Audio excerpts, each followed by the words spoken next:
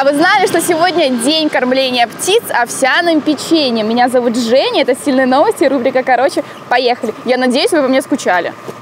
Рома Кагадовский, который вынес из горящего дома своего братика, передал его людям, а сам потерял сознание, сегодня побывал на экскурсии во Дворце независимости и получил орден за личное мужество из рук Лукашенко. Рядом с ним была его мама, которая больше ста дней вместе с ним находилась в больнице, где у мальчика было крайне тяжелое состояние. Но, слава богу, Рома смог выкарабкаться. Пацан-герой.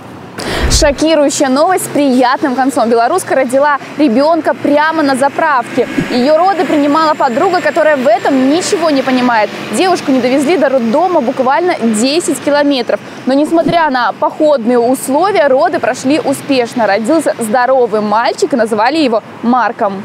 Джимми, Джимми, Ача, Ача.